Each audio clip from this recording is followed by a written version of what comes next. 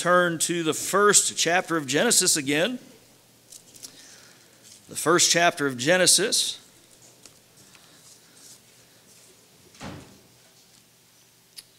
And uh, several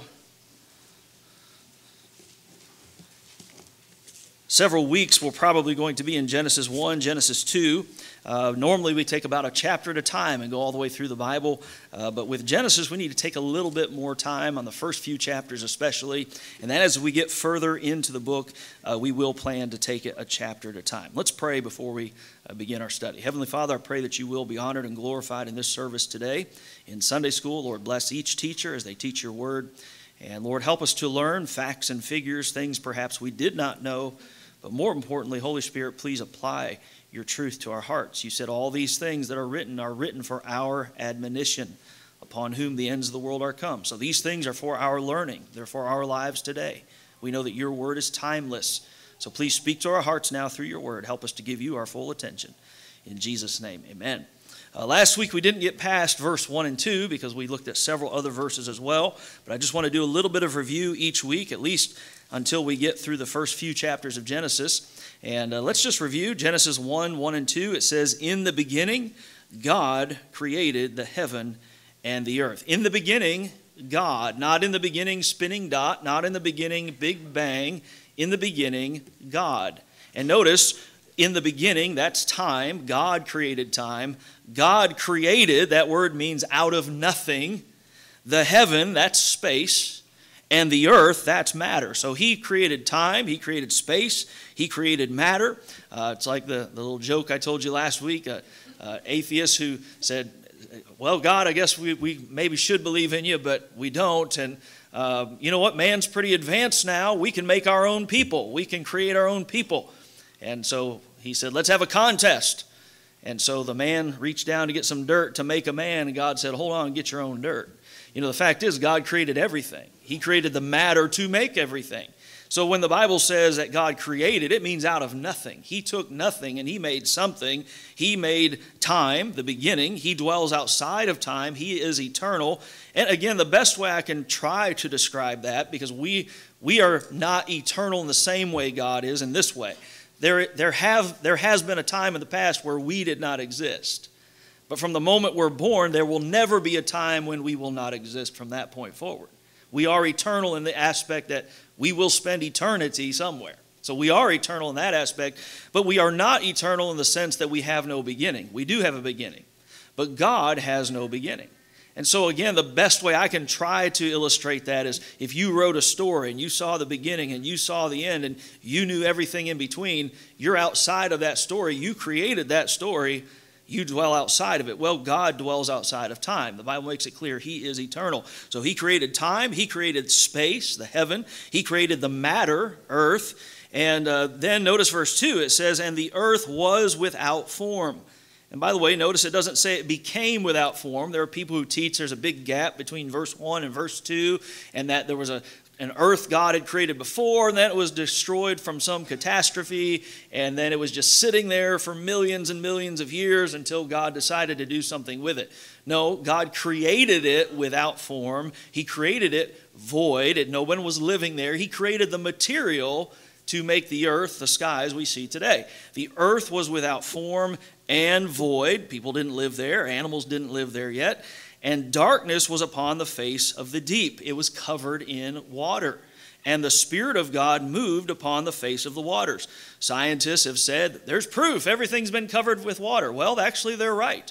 It was covered with water in the very beginning when God first created everything, and it was created, it was covered in water again at the worldwide flood, which we will study in Genesis as well. But notice the Bible says, verse 2, and the Spirit of God, there's force. So we have time, we have space, we have matter.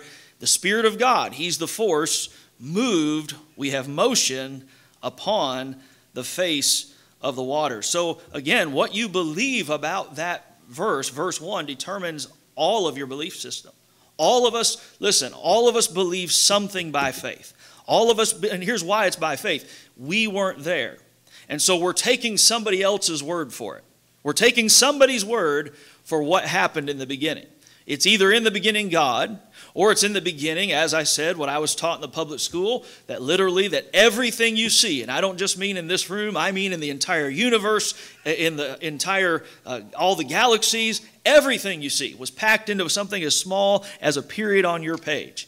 And it was so dense and it was spinning and spinning and spinning and kabloom, kablooey, and here we are, you know, after millions and millions of years. So that's ridiculous. It's absolutely ridiculous. As I've said the illustrations before, you see something that's been designed, what does that tell you? There's a designer. You see something that's intricate, that works well. What does that tell you? There's a designer behind it. Well, there's no doubt. I mean, just common sense tells us there's a designer. Romans 1 says people are without excuse because they see God's creation. They have no excuse to say, Well, I didn't know there wasn't a God. I didn't know there was a law of God. No, we have no excuse because we see God's creation. And the Bible makes it clear that anyone who says in their heart, There is no God, that is a fool who says there is no God. We look at all the evidence and say there's no God you're a foolish person, the Bible says very clearly.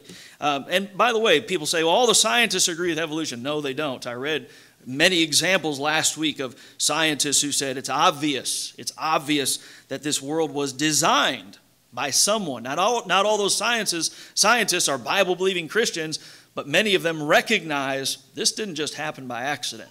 You know, you, you don't take a, a bunch of letters and throw them in a dryer for millions and millions of years and suddenly a Webster's dictionary pops out. You know, you don't take watch parts and throw them together and have explosion. Order does not come from chaos. It doesn't. There had to be a designer. And there is a designer, and it is God. Now, we didn't get all the way through last week's lesson, so I want to end with last week's, I want to begin, rather, with the end of last week's lesson. Let's go to Job 38. Job 38 and I want us to see here in Job 38, and by the way, the Bible's filled with clues like these. There are some people who are against studying science at all, and I'm absolutely for studying science, but let me, let me say this you need to be very careful what you claim is science.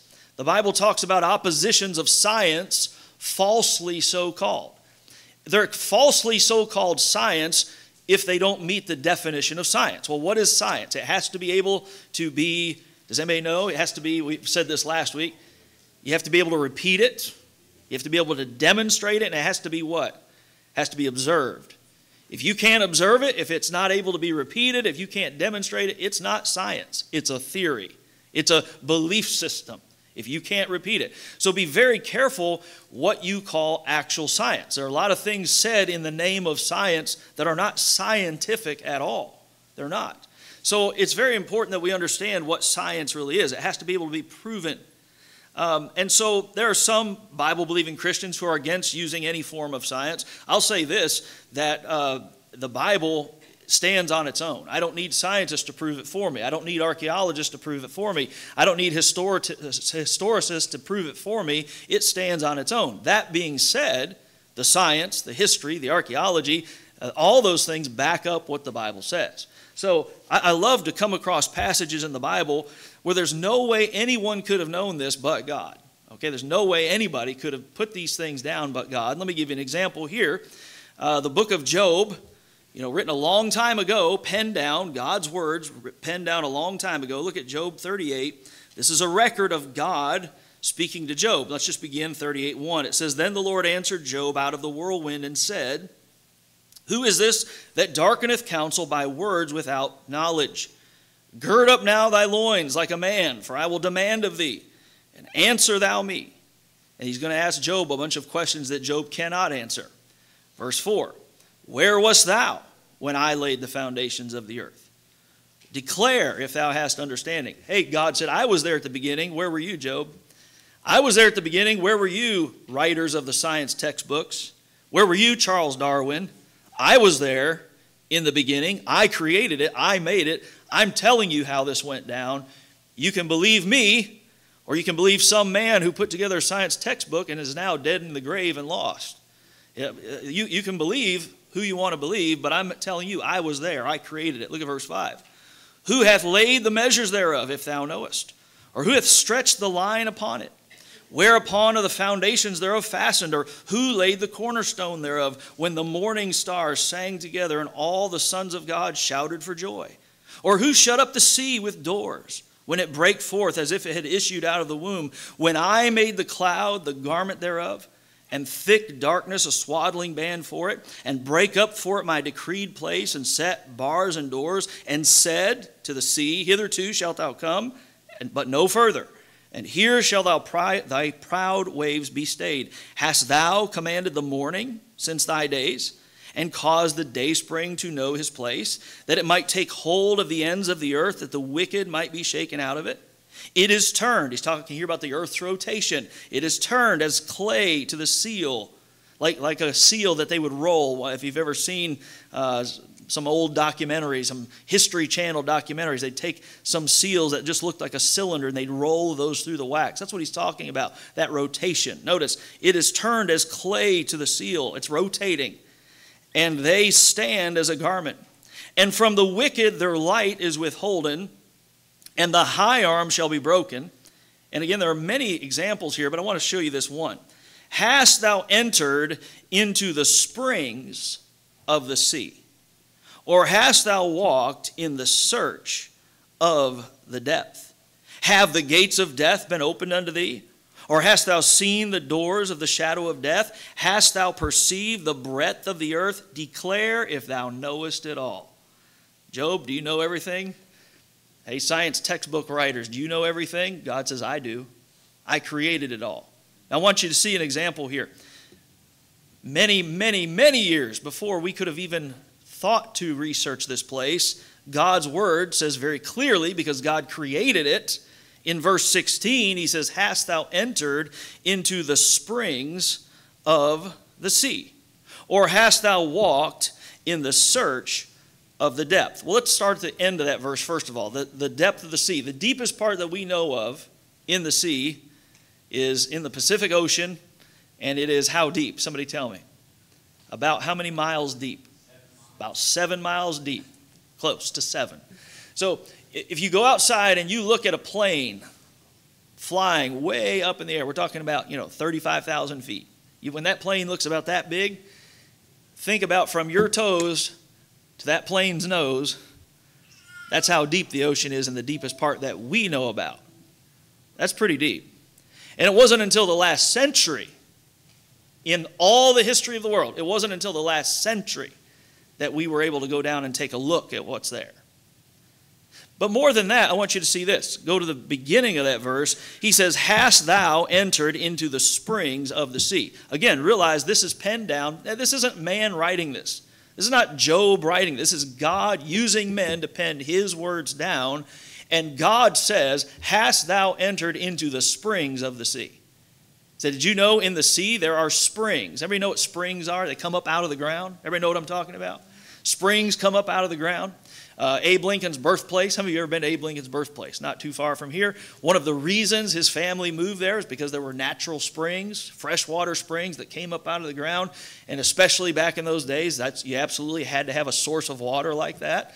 And uh, so they, they had a place where the water came up out of the ground. Well, right here, God's word says that there are actually springs in the sea. So in the sea, there are springs that come up out of the depths of the ground. Did you know it was in 1977 that the springs of the sea were discovered? It's hot, it's hot water venting out of the earth, coming up out of the sea, discovered in 1977. How many of you think the Bible was written before 1977? Okay? The point is this who could have known that but God? but God. Again, there are multitudes of examples. Let, us go back just to, let, us talk about a barber shop for a minute. How, how many of you um, know what the little pole, the barber's pole stands for? I mean, who, who knows what the red on the barber pole stands for? Does anybody know? What does it stand for? What is it? They used to let blood. Yeah. So they would take their razors this is absolutely truth. Go read this in history. They would take their razors and they would cut people. And the, the logic behind it was they're bleeding out the bad blood. So, you know, if you're sick, what you really need is a little bloodletting. You know, you need to go to the barber so he can cut on you and so you can bleed a little bit. Uh, say, oh, that's foolish. Yeah, but, but that was the logic of man. See, see, we're always foolish if we follow the logic of man. And we're always wise if we'll just believe God's word. Now, long before that, and by the way, how many of you know how George Washington died? That way. They, they bled out too much of the bad blood. he died of blood loss because they were bleeding the bad blood from him. But if they just read their Bible that God wrote and just believed God's word, he made it very clear that the life is in the blood, right? Th- these are just a couple of examples. And I'm just saying, how many more? If a person doesn't want to believe the Bible, they're not going to believe the Bible, no matter what you show them. I've, I've shown you that about archaeology, how that for years they could not find proof of the Hittites. They had proof of all these other people groups, but they couldn't find the Hittites. So what they say? Well, see, the Bible's just man-made and it's all false, it's phony. And then guess what? Suddenly they discover proof for the Hittites. So you think they said, oh, well, you know, we better believe the Bible. Did they do that? No, they found another excuse why they won't believe the Bible. And this is exactly what Jesus said in Luke 16 when he talked about the rich man in hell. And by the way, he wasn't in hell because he was rich, he was in hell because he was an unbeliever, because he did not trust Christ.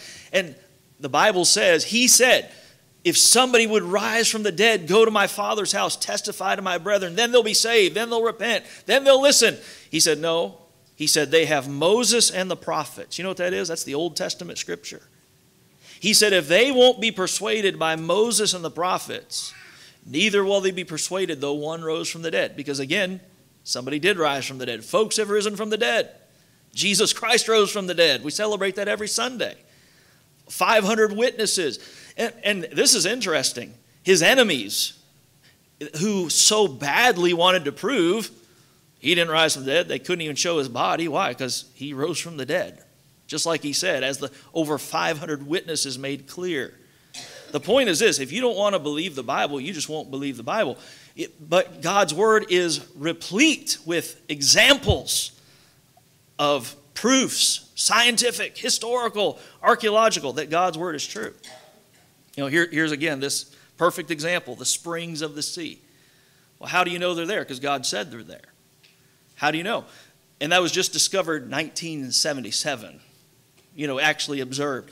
So the point is this God's word is true, and God's point is in the beginning, God. God said, I was there. I created all of it. You just need to take my word. I'm telling you how it happened in the beginning.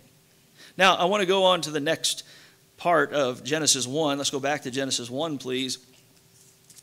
So the Bible makes it very clear in the beginning, God created the heaven and the earth. And the earth was without form and void and darkness was upon the face of the deep, and the Spirit of God moved upon the face of the waters. And then we come to uh, this verse. It says, And God said, Let there be light. And there was light. We have the creation of light. And God saw the light, that it was good. And God divided the light from the darkness. And God called the light day, and the darkness he called night and the evening and the morning were the first day. Now, I've said this before. The truth of God's word is actually very simple. It really is. But simplicity, the, the pride of man says, I want something to be more complicated. I want something that nobody else can possibly understand without me. So there's a lot of false teaching regarding these verses of creation. And it's tearing down those false belief systems that takes a little bit longer. But the truth is simple. What's the truth? The truth is God said, Let there be light, and there was light. That's the truth. The truth is, it was in one literal 24 hour day. The evening and the morning were the first day. Do you see in that verse any wiggle room to say, actually, God didn't mean day? He didn't actually mean 24 hours, He actually meant millions and millions of years. Do any of you see any wiggle room in that verse? at all. Do you see any? No. It says the evening and the morning were the first day. The first day. Say, why do you bring this up? I bring this up because in Scofield's notes, and there are many people who claim to be smart who say that this is a relevant theory.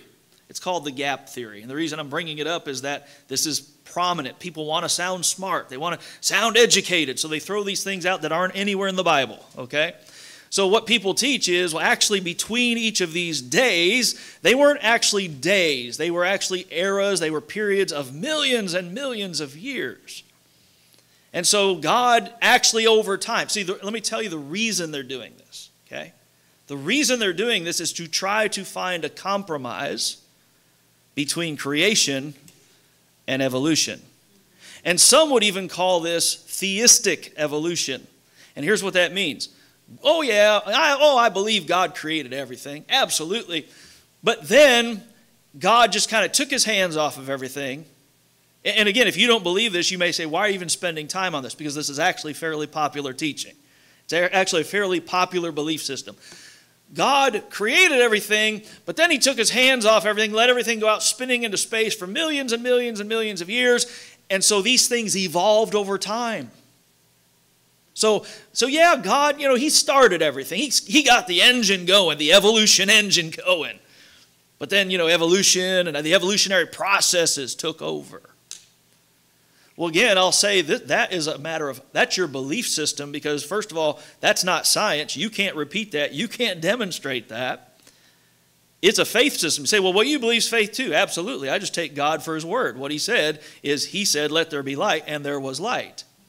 Now, what I want you to notice, very interesting, is he created light before there was a sun. Notice the sun wasn't even created yet. He created light before there's a moon. He created light before there are stars. Say, but don't we have to have sun to get light? No, we have to have God to have light. Amen. He created light. As a matter of fact, the Bible says in Revelation, there'll be no need of the sun because He is the light. The Bible says God is light, and in Him is no darkness at all. But notice, the light was created before there's a sun. The light was created before there's a moon. The light's created before there are any stars. God said, Let there be light, and there was light. And it doesn't say it took millions of years. And, and, by the way, let's revisit that little gap theory thing. Let's say it did, let's pretend their theory is viable, okay? Uh, plants were created before creatures. Plants were created before creatures. How many of you are aware, and you learned this in science class, that the vast majority of plants need creatures to help pollinate them? Yeah, especially crops, especially food. Food or uh, matters of uh, uh, plants used for industry, 80%, about 80% of crops, things we eat, or things used for industry, things made to make things, those plants, about 80% of them require pollination. Well, how would that have gone for things if the plants evolved over millions and millions of years and had nothing to help pollinate them? Now, I know there are plants that are self pollinated, there are plants that are pollinated by the wind. I get that, I understand that. But I'm just saying, let, us use common sense here for a minute. Let's just, how about this? Let's just take God at His word, right? Let's just believe what God said. If we believe what God said, we won't chase down paths of foolishness. He said, Let there be light. There was light before there was a sun, before there was a moon. In fact, go back to Job. Look at Job 38. And uh, I, I've heard some people try to explain what this means. All I can tell you is there was light without a sun, light without a moon, light without stars. And all I can tell you is God is asking Job questions here he can't explain, he can't answer. And the reason Job is, uh, God is asking Job these questions is to say, Job, you're not God, I am. Job, you weren't there when I created everything. I was. So you need to just trust me and take my word for things. How many of you have ever told your kids? And I think it's good to tell your kids why sometimes. I, I don't think you should just never tell them why. I think it's good. The Bible says, knowledge is easy unto him that understandeth. If your kids can understand why you're doing something, it helps them to learn that truth. But how many of you, when your kids were little, or sometimes you just had to tell them, look, you just have to trust me you just have to do it because I said so, because you're not going to understand. Have you ever had to tell them that? Course, because they had a certain knowledge base and you knew they would not understand. You just confused them further. The point is, God is God for a reason. There are things He understands we don't understand. But what I know is this He created light without sun, moon, and stars. And I want you to see what He said to Job. Look at Job 38. And again, there are explanations of this, but the point is this light doesn't require a source like a sun or a star. You know, another uh, sun is a star. Doesn't require a source like that. God created light without those things. Look at Job 38, verse 19. After he asked Job, Declare if thou knowest it all. Do you know everything, Job? Then he said this, verse 19 Where is the way where light dwelleth? And as for darkness, where is the place thereof? Job, do you know? No, you don't. I do. God says, verse 20, that thou shouldest take it to the bound thereof, and that thou shouldest know the paths to the house thereof. Job, do you know the path to get to light and the path to get to darkness? Do you know where they, they dwell? Do you know where they live? Verse 21 Knowest thou it because thou wast then born, or because the number of thy days is great? You know, if we live 80 years, that's 30,000 days. That goes like that, doesn't it? You know, you live, live 100 years, that's a few more 36,000 days. That's a lot. That seems like a long time. Oh, it's so short. When my dad was getting ready to go to heaven, he, he went to heaven at 83, I think it was. One of the things he said, 83, he, life's so short. He said, boy, it went so fast. That's what he said. You know, it doesn't matter how long you live. You live to be 100. Were, were we there when everything was created? No, we weren't. Do we have all wisdom, all knowledge? I mean, it seems like the older you get, the more you learn, and then, you know, it's almost time to go to heaven. It's like, well, I wish I'd learned those things when I was 20 or when I was 15 or, you know, but now I've learned those things and it's about time to go to heaven. Um, the, the point God is saying to Job, Job, you weren't there. I'm telling you, there's a place for light. There's a place, there's a way where light dwelleth. As for darkness, where is the place thereof? The point is this God created light before He created the sun, the moon, the stars, he created light. Um, and it was in a literal day, not millions and millions of years. Go to Exodus 20. Look at Exodus 20. God's word's very clear. Six literal days God created the earth, the heaven and the earth. Look at Exodus chapter 20, verse number 11. Exodus chapter 20, verse number 11. This is part of the Ten Commandments says, For in, what are the next two words? Uh, we're in Exodus chapter 20. Let me give you time to get there. Exodus chapter 20, verse number 11. It says, For in, what are the next two words? Six days the Lord made heaven and earth, the sea, and all that in them is, and rested the seventh day. Wherefore the Lord blessed the Sabbath day and hallowed it.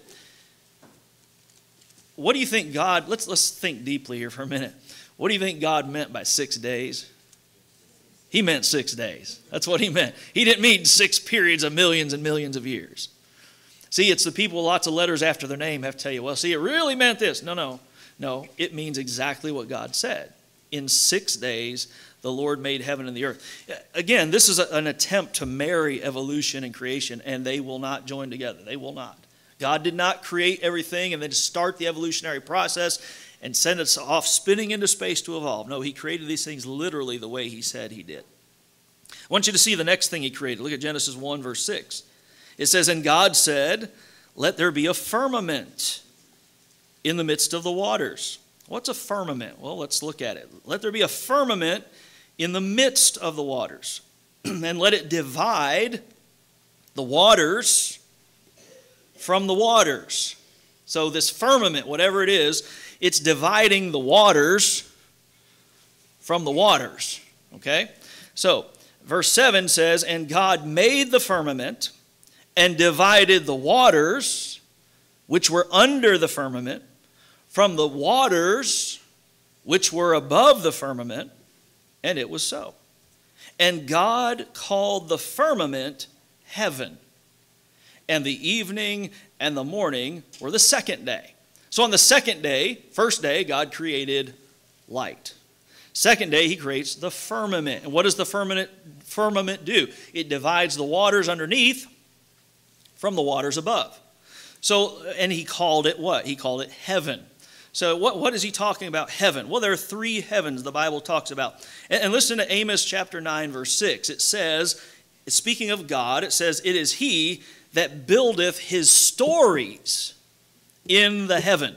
How many of you know what a story is in a building? You know, if you say it's a 10 story building, what does that mean? It has 10 floors, right? It's 10 levels, right? So the Bible says here, Amos 9, that God buildeth stories in the heaven. There are multiple levels, floors, layers, if you want to call it that, of heaven. In fact, there are three, the Bible tells us up. The first one, the first heaven, we would just call it simply the sky. It's where the birds fly. And I want you to see this. Um, in fact, before we dig into that, let's go to Job again. Go back to Job 37. We're going to go back and forth to Job probably a lot. Uh, Job 37, please. Look at Job 37, verse 14. So, the second day, God creates the firmament, which he called heaven. And there are three stories of heaven, three levels of heaven. And it's not the way the Mormons teach it either, by the way. I'm going to show you exactly what the Bible says are these three stories of heaven. But look at Job 37, verse number 14. Job 37, verse 14. He says, Hearken unto this, O Job. Stand still and consider the wondrous works of God. Dost thou know when God disposed them and caused the light of his cloud to shine? Dost thou know the balancings of the clouds? Otherwise, anybody know what clouds are made of? Mainly, what are they made of? Water, right? Dost thou know the balancings of the clouds, the wondrous works of him which is perfect in knowledge? How thy garments are warm when he quieteth the earth by the south wind? Hast thou with him spread out the sky, which is strong and as a molten looking glass? No, God did that. We didn't do it. God did. Go to Psalm 104. Psalm 104. And uh, look at verses 1 through 3. Psalm 104 verses 1 through 3. It says, Bless the Lord, O my soul. O Lord my God, thou art very great.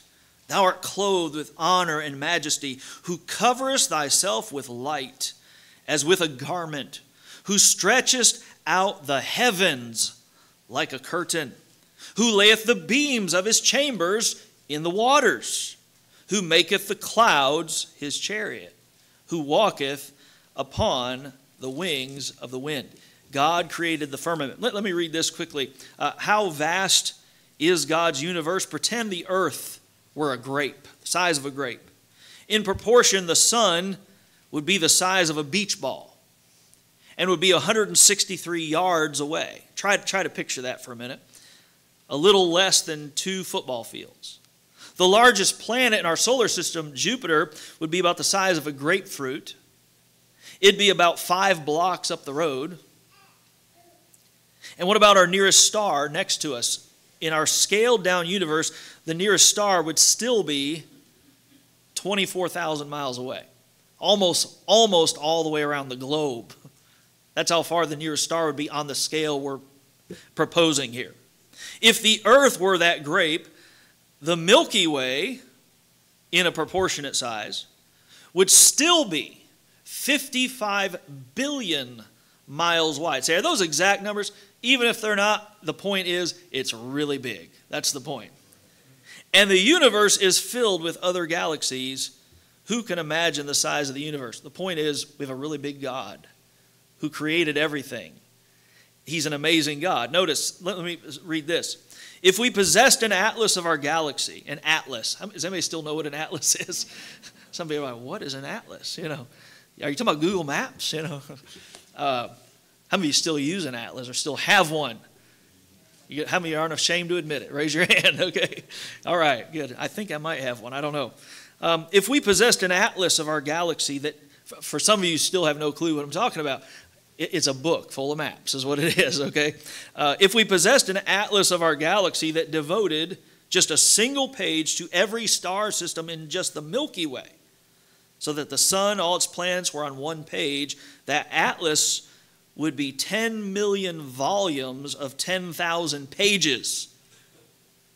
It would take a library the size of Harvard's to house the atlas, and merely to flip through it at the rate of one page a second would take you 10,000 years. And there are many, many, many, many more galaxies than that. The point is, the point is, are we really going to stand here on this little earth and say, God, we can tell you, God, we don't believe what your word says. We're going to tell you how it all started. No, we should just listen to him. We, we should just say, you know what? He knows a whole lot more than I do. I better listen. Um, right here, God created the firmament. What is it? It's the heaven.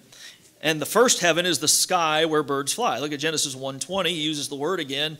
God said, "Let the waters." This is another day we'll study later, but he said it says God said, "Let the waters bring forth abundantly the moving creature that hath life and fowl, that may fly above the earth in the open firmament of heaven. So that's the first heaven, what we would call the sky. Um, in fact, let's look at another place. Go to Deuteronomy, uh, the fifth book of the Bible, Deuteronomy chapter 11, and look at verse number 11. Deuteronomy 11, uh, verse number 11. The Bible says, But the land, whither ye go to possess it, is a land of hills and valleys, and drinketh water of the rain of heaven. So, what heaven are we talking about there? The first heaven, the sky. That's what we're talking about. Then there's a second heaven. What's the second heaven? We'll go to Psalm 8. Psalm 8. Remember, God put stories in his heaven. He put levels, he put floors in his heaven. He has three, three levels to his heaven. Notice Psalm 8, verse number 3. The second heaven is what we would call outer space. We would call the second heaven outer space. Look at Psalm 8, verse 3. He says, When I consider thy heavens, the work of thy fingers, the moon and the stars, which thou hast ordained, what is man that thou art mindful of him? Isn't that amazing? And the Son of Man that thou visitest him. You think of how big God's creation is, and yet he cared enough to send his only begotten Son to this little marble to save us.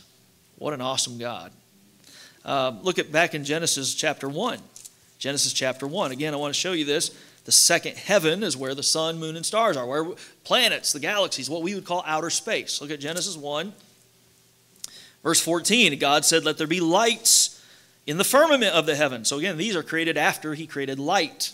Let there be lights in the firmament of the heaven to divide the day from the night, and let them be for signs and for seasons and for days and years. He's talking about the sun, moon, and stars. And let them be for lights in the firmament of the heaven to give light upon the earth. And it was so. And God made two great lights the greater light to rule the day, and the lesser light to rule the night. He made the stars also, and God set them in the firmament of the heaven to give light upon the earth. So the first heaven is what we would call the what? We would call where the birds fly, we call that the sky. We'd typically call it that. The second heaven is what we would typically call outer space. And then the third heaven is where God's throne is, where God dwells. And I want you to see this. Go to Ezekiel chapter 1. Ezekiel chapter 1 and verse 26. Ezekiel 1 Verse 26 Ezekiel sees God in the third heaven where his throne is. Ezekiel 126 says, And above the firmament that was over their heads was the likeness of a throne, as the appearance of a sapphire stone. And upon the likeness of the throne was the likeness as the appearance of a man above upon it. And I saw as the color of amber, as the appearance of fire round about within it. From the appearance of his loins even upward, and from the appearance of his loins even downward, I saw as it were the appearance of fire, and it had brightness round about, as the appearance of the bow that is in the cloud in the day of rain, so was the appearance of the brightness round about it. This was the appearance of the likeness of the glory of the Lord. And when I saw it, I fell upon my face, and I heard a voice of one that spake. Matthew chapter 6, verse 9, Jesus said to pray daily, Our Father which art in what? Heaven. That's the third heaven. Uh, Hebrews 7:26 says that Jesus is higher than the heavens. His name is above every name. He's higher than the heavens. Uh, go to 2 Corinthians 12. Paul talks about going to the third heaven. Um, I personally believe this is when Paul was stoned to death. I think he did die, and God brought him back. Note that's when I believe it happened. I can't. I would never argue with somebody over that. Couldn't prove it to you. That's just what I believe from what I've read in Scripture. But 2 Corinthians 12, look at verse 2.